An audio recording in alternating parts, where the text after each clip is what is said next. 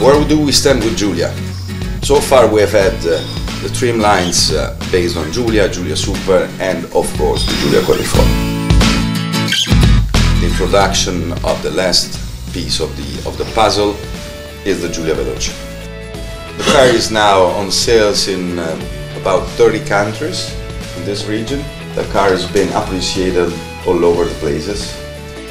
I think you can perceive the value of this area in terms of uh, landscape and driving, uh, uh, driving chances that this area is able to give.